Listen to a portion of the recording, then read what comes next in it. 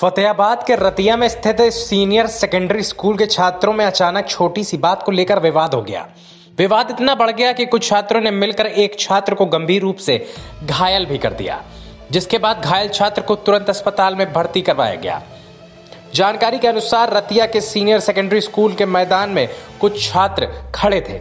इस दौरान किसी ने वहाँ पर अध्यापक के आने की बात कही तो सभी छात्र वहाँ से भागने लगे।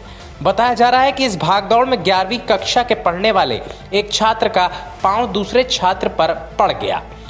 ये उस छात्र को अच्छा नहीं लगा। आरोप है कि उसने अपने कुछ साथियों के साथ मिलकर ग्यारहवीं के छात्र की पिटाई कर दी।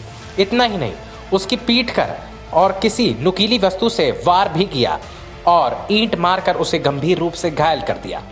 घटना के बाद आरोपी छात्र मौके से भाग निकला, जबकि गंभीर रूप से घायल छात्र को रतिया के नागरिक अस्पताल में भर्ती कराया गया।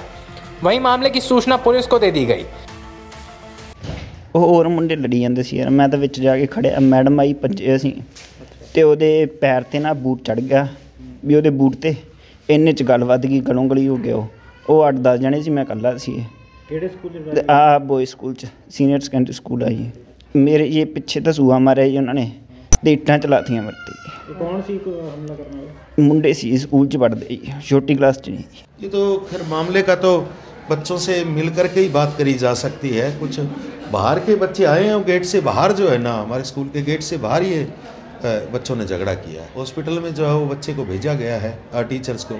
ये पता करने के लिए कि मैटर क्या है। वहीं इस मामले में स्कूल प्रिंसिपल गोविंद शर्मा का कहना है कि घटना स्कूल परिसर के बाहर हुई है। उन्हें यह बात घटना के बाद पता चली।